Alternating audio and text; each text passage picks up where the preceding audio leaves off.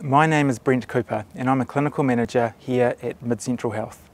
We remain open and are providing care and support for mental health and addictions during the COVID-19 response.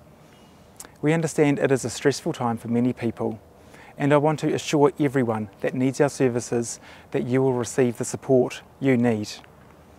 I'm very proud to work with a team of highly skilled, well trained and motivated professionals and we are dedicated to delivering the best possible care to our communities with compassion and respect.